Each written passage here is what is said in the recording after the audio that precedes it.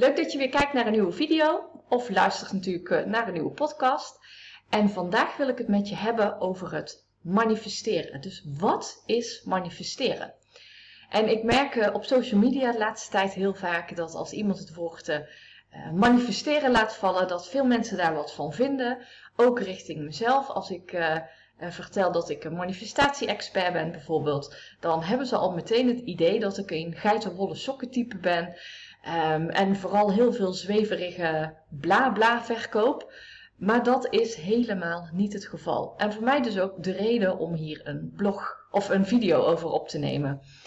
En ik wil je ook uitleggen waarom dat zo is. Nou, als je dan puur kijkt naar het woord manifesteren, is dat het dat zich iets bekend maakt. Dus dat iets zich openbaart, dat um, iets zijn aanwezigheid laat blijken, zoals de Vandaal het ook omschrijft. En dat is natuurlijk ook precies wat er gebeurt. Jij hebt een, bepaald, een bepaalde wens en dat manifesteer je doordat er iets um, terugkomt. Dus dat jij iets in jouw realiteit gaat zien waar jij um, ja, een, een, een, een intentie bijvoorbeeld voor uh, over hebt uitgesproken.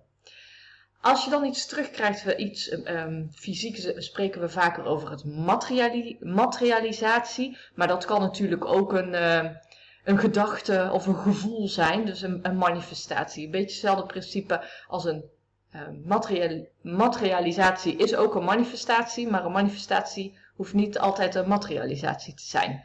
Dus een beetje cool rund verhaal. Je manifesteert overigens altijd. Want je ziet om je heen uh, wel eens, uh, wil je leren manifesteren? Nou, je manifesteert altijd. Want het is nu eenmaal zo dat, uh, nou, we leven in één groot veld, het kwantumveld.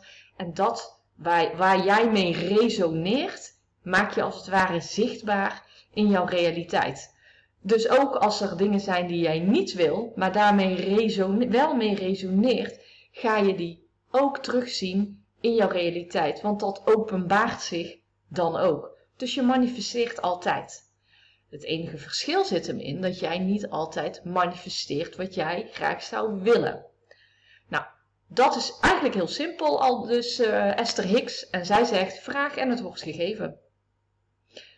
Klinkt natuurlijk heel simpel, is alleen niet zo heel erg makkelijk.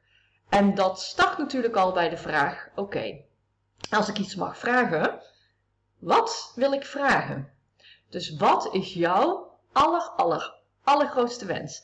En dan niet ingegeven vanuit wat jij denkt dat realistisch is. Hè? Want we moeten allemaal smart doelen leren, allemaal om smart doelen te stellen. Dus specifiek en meetbaar. En realistisch is daar dus ook een onderdeel van. Maar wat als alles mogelijk zou zijn? En nu zijn er uh, ongetwijfeld uh, kijkers uh, onder jullie die zeggen, nou laat mij maar een miljonair worden. Maar is dat wat je echt wenst. Want wat geeft het bijvoorbeeld miljonair zijn jou? Denk daar eens over na. Waarom wil jij miljonair worden of een succesvol bedrijf of die supergave functie? Jij wil dat omdat jou dat een bepaald gevoel geeft. Een gevoel waar jij naar verlangt. En uh, dat kan zijn bijvoorbeeld vrijheid.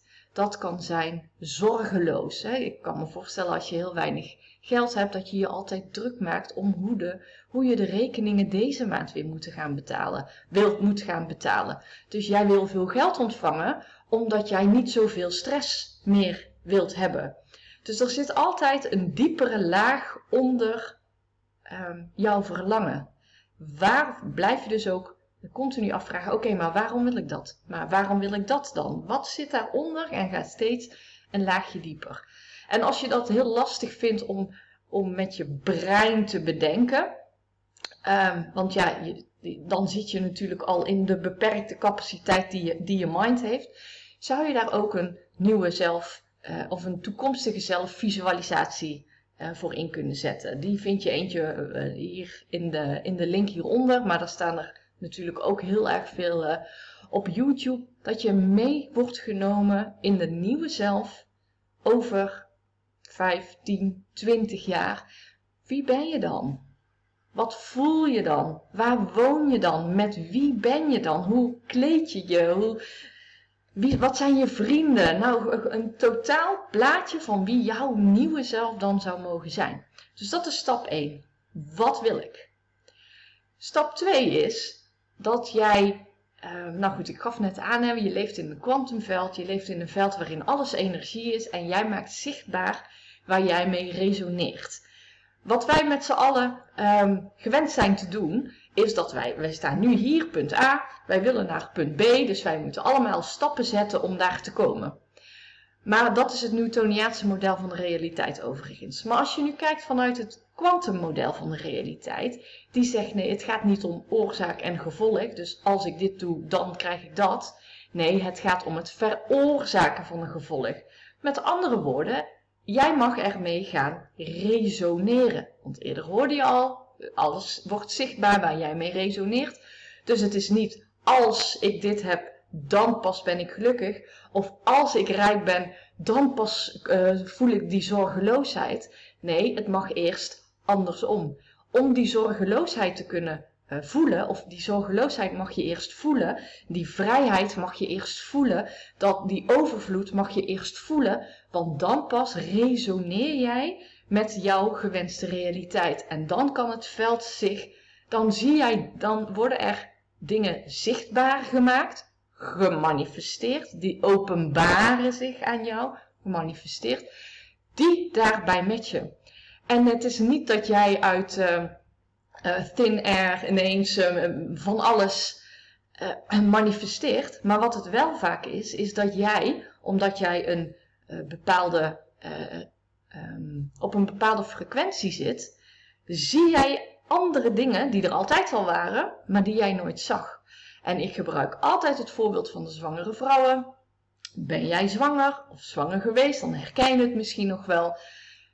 En eens popten overal zwangere vrouwen, kinderwagens, baby's, luieren, reclame, wat dan ook. Ineens zag je ze allemaal. Jij hebt dat niet aangetrokken of uh, gecreëerd, dat was er altijd al. Alleen jij hebt dat nooit zichtbaar gemaakt voor jezelf, omdat je niet op die vibe zat. En zo is het dus ook met jouw verlangen. Dus hoe denkt die vrouw die, nou laten we in dit geval uh, geld als voorbeeld nemen.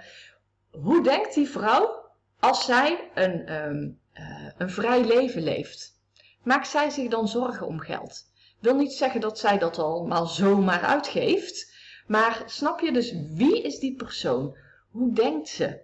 Hoe voelt zij? Als, zij, als jij nu al zou hebben wat zij heeft, hoe gedraag je je dan? Dus dat kun je uh, gaan oefenen. Dus be as if.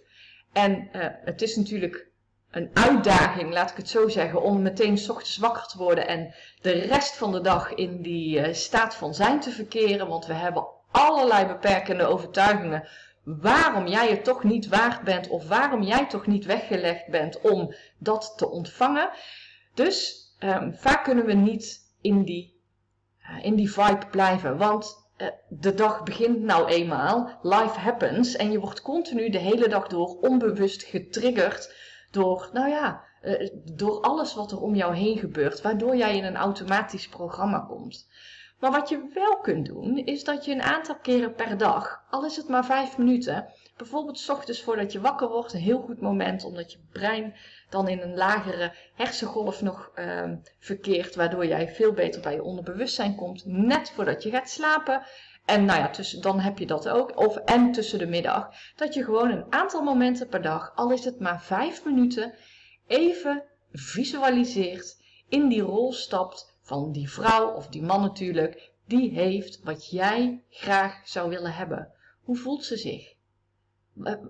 Ja, wat voor gevoelens gaan er door haar heen? Hoe denkt ze? Als jij dat zou hebben, wat zou jij dan doen? Zou jij dan op dat strand liggen? Zou je dan die wereldreis maken? Probeer zoveel mogelijk zintuigen daarin uh, te, te prikkelen. Wat ik zelf ook uh, vaak deed, en soms nog wel eens, is als ik dan bijvoorbeeld visualiseer dat ik op een strand lig, smeer ook zonnebrandcrème op je hand. Dat ruikt zo lekker. Nou, ik, ik, voel, ik voel het gewoon al. Als ik dat ruik, dan, dan, dan verhoogt je vibe instant bij mij. En misschien heb jij ook van die bepaalde geuren um, die, nou ja, die jou aan een heel fijn gevoel herinneren. Zet ze in. Want um, hoe meer uh, neuronen je gebruikt, hoe sterker het wordt. If they fire together, they wire together, zeggen ze. Dus zet zoveel mogelijk dingen in. Dus je hebt, we, we weten wat we willen, de vraag hebben we. We, hebben, we gaan dagelijks visualiseren. En de derde stap is natuurlijk ook werk aan die belemmerende overtuigingen. Als je dingen tegenkomt, dus als je bewust leeft, kom je dingen tegen. Hey, waarom denk ik eigenlijk zo? Waarom handel ik eigenlijk zo? Daar kun je dan vervolgens ook mee aan de slag gaan. Om die om te buigen, om, jou om jezelf andere verhalen te laten vertellen. Nou, als je daarmee aan de slag bent gegaan, dan is het natuurlijk ook nog een kwestie van um, overgeven en vertrouwen aan het, um, op het proces. Want wat ik vaak merk in de praktijk is dat er um, heel veel klanten, sorry, gaan affirmeren, uh, continu de hele dag door, maar ze voelen het eigenlijk niet. Maar ik hou van mezelf, ik hou van mezelf, terwijl het al hun, hun staat van zijn uitschreeuwt. Nee, je houdt niet van jezelf. Het moet leuk blijven. Het mag, het, het, alles is energie, dus het mag een, een luchtige, joyful, um, ja, joyful, joyful manier zijn. Genieten, omdat dat een hoge vibratie met zich meebrengt. En dan zie jij meer van wat resoneert met dat. Maar als jij in die staat van tekort heel krampachtig aan het affirmeren bent en aan het visualiseren bent en continu alles aan het, je, bank, uh, je je bankrekening aan het checken bent, dan zit jij dus in dat tekort, want het is er nog niet. Laat het los. Geef je over aan het proces. En vertrouw erop dat het komt. En eh, het hoeft niet. Um, ik zal hier nog wel een keer een andere video over opnemen. Maar het, het, is niet dat jij een of andere quantum jump maakt van vandaag eh, ben jij op tijdlijn 1 en eh, morgen ben jij op tijdlijn 2. Nee, het zijn al die kleine stapjes die ervoor zorgen dat jij uiteindelijk terugkijkt en ziet wat voor een onwijs verschil jij al hebt meegemaakt in het afgelopen jaar. En al die kleine manifestaties, al, al zijn het de blauwe veren, de appelflappen, de parkeerplaats voor de deur, schrijf ze allemaal op en ben er allemaal dankbaar voor. Want daar waar jij de aandacht op uh, legt, groeit. Dus daar krijg jij er meer van. Jij bent waar jouw aandacht is. Ben jij met jouw aandacht op wat er allemaal wel is, krijg je daar meer van. Ben jij daar ook in jouw energie. Maar focus jij je alleen maar op dat wat niet is, dan ben jij daar met je energie en krijg jij meer en meer en meer van hetzelfde. Nou, kun je daar wel een, uh, uh, wat hulp bij uh, gebruiken, dan help ik je uiteraard graag. Dat kan op verschillende manieren. Vraag sowieso ook even mijn gratis masterclass Manifesteren met de kwantumfysica aan. En dan uh, heb je alvast een voorproefje van uh, hoe ik jou zou kunnen helpen. Of als je ondernemer bent, dan heb ik een veel uitgebreider traject ook. Die jou uh, echt transformeert naar de persoon die jij wil zijn. Zodat je krijgt wat die persoon heeft. Nou, dankjewel voor het kijken en luisteren. En tot de volgende.